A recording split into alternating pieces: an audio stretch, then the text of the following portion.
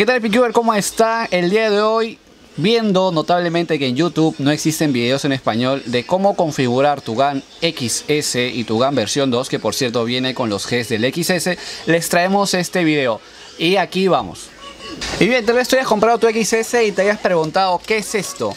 Bien, estas son las tapitas que vienen, bueno, de repuesto por así decirlo, pero sirven para el GAN Robot, ya que con, eso con las tapas que viene el GAN XS de por sí, no se puede.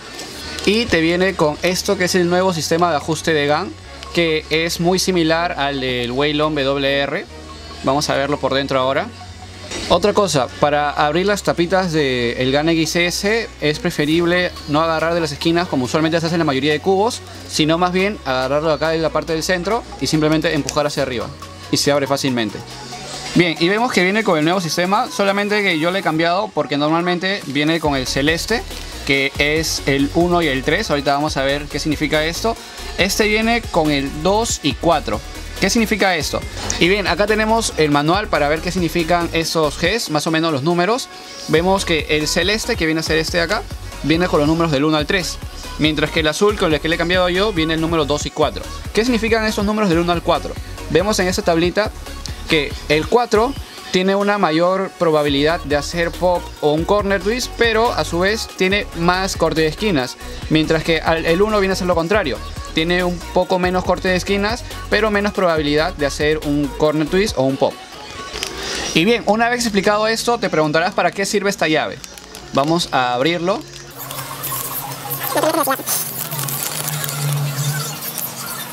Bien, tenemos los Gs con la llave. Eh, para mayor comodidad vamos a sacar todos los Gs de una sola, sin perder ninguno. Lo sacamos y ahora esta llavecita vamos a explicar para qué sirve en sí. Y bien, tenemos la llave y ya el cubo para desmontarlo, por así decirlo, o configurarlo. Esto se inserta de esta manera, como incrustándolo nada más. No se engancha ni nada, es suelto. Y ahora, al igual que el WR, el GAN viene con 6 cambios. Estos cambios ayudan a la elasticidad del cubo en sí. Entonces, nosotros mientras que giramos hacia el lado izquierdo, o sea, en sentido antihorario, giramos y vamos a sentir un cliqueo. Ahí sentimos uno.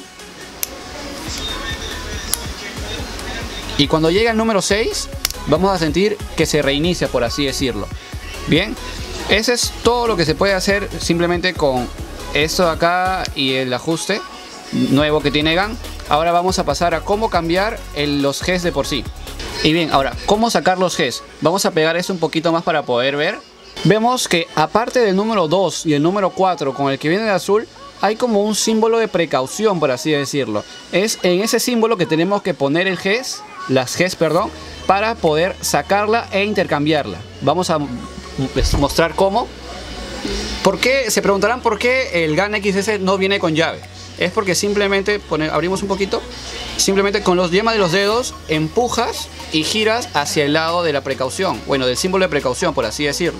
Entonces simplemente empujamos, giramos, vamos girando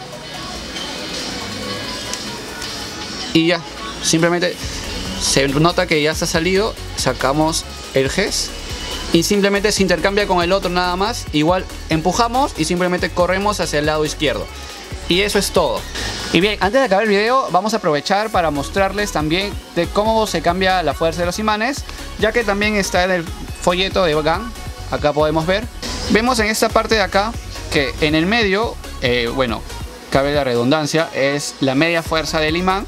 Cuando está hacia afuera es que es más fuerte y cuando está hacia adentro el imán es más débil. Vamos a mostrarlo en el cubo.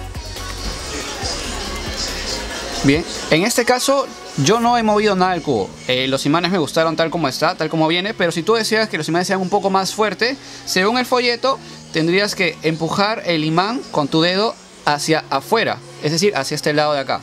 Y si lo quisieras un poquito más suave el imán, casi ni se siente, tendrías que empujarlo hacia adentro, quiere decir hacia el core, por así decirlo. Y bien PQvers, con este video les, eh, les hemos querido dejar en claro cómo es que se configura los Gs y aparte también los imanes y el nuevo sistema que tiene GAN, cómo funciona. No se olviden de compartir, darle me gusta y suscribirse. Muchas gracias y hasta pronto.